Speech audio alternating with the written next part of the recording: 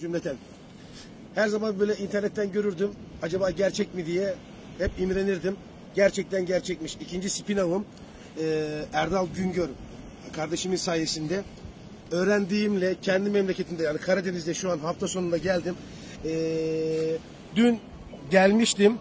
E, akabinde çok dalga vardı atamadığım için. E, bugün sabah tekrar saat 8 gibi geldim.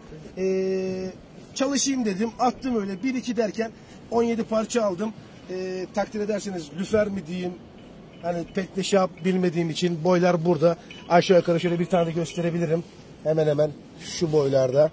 Ee, şöyle göstereyim. Demek ki gerçekmiş bu. Ee, bugün ayın e, kaçı? Ee, bugün ayın 3'ü.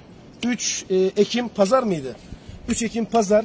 Ee, makinamı söyleyeyim. Yine makinamı Erdal Güngör kardeşim ta- e, tavsiye etmişti. Bunu aldım fazla pahalı bir makine değil. Ee, şey rapal olarak da e, Kendo'nun e, limonu limonuyla iş yaptım.